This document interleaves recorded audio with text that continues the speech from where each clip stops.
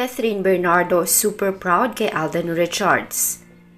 Kahapon nga ginanap ang GMA Gala 2024 na kung saan dinaluhan ito ng mga sikat na artista ng GMA Network. Kabilang na dyan ang It's Showtime hosts. Pero ang pinakatinutukan at inabangan ng lahat ay si Alden Richards at kung sino ang magiging kadate nito sa nasabing event. Lahat ng anggulo, lahat ng kamera at ang mga drones ay nakaabang sa labas at loob ng events place para kay Alden. Pagdating ni Alden ay gamit-gamit nito ang kanyang sports car, wearing all black suits. Kakaiba ang atake ng looks ni Alden Richards ngayong GMA Gala 2024. Tila opa ang datingan nito.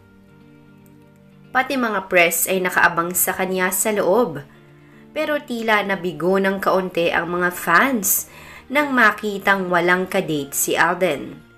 Pero super proud ng kanyang mga supporters, maging ang Kathden fans. At syempre, proud na proud rin si Catherine Bernardo kay Alden Richards. Namataan pa nga ito na nag-react sa litrato ni Alden na kung saan kuha ito sa nasabing event ng GMA. Going back sa interview kay Alden, naitanong ito kung ano ang kanyang red flag sa isang relasyon. Matagal itong nag-isip at sumagot. Ang kanyang sinagot ay misunderstanding. Sa kabilang banda ay dinugtungan rin niya ang mga katagang katanungan ng Hello, Love, Blank. At dinugtungan niya ito ng Hello, Love, Let's Go. Mukhang masaya nga talaga ang puso ng isang Alden Richards ngayon.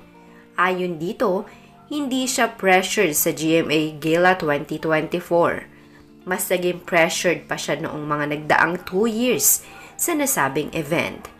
Ang nais lamang raw niya ngayon ay ang mag-enjoy kasama ang kanyang mga kapwa-artista bago pa man ito lumipad papuntang Canada para sa kanyang shooting sa pelikula.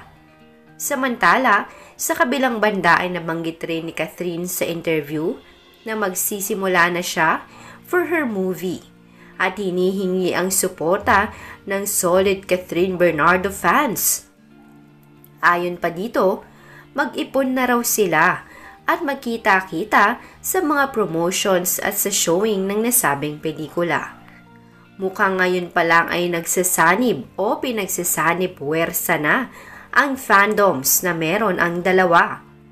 At talagang sabik na sabik na ang mga fans sa nalalapit na pelikula ni Catherine at ni Alden.